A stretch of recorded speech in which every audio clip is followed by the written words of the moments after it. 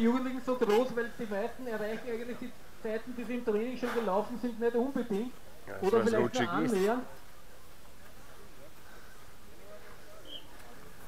Okay, jetzt dir. Ja, also da darf ich ja, gut. Auf die Plätze. Ja. Fertig. Ja, jetzt haben wir den Mann, der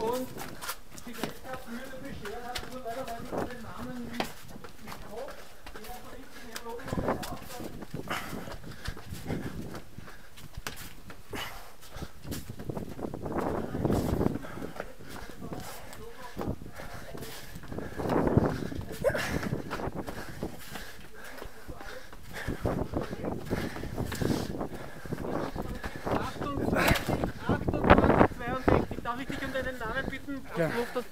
Bernhard Karigl. Bernhard Karigl. Ein erfahrener Treppenläufer hast mit 28 und 50 die Führung übernommen. Im Moment die Führung übernommen.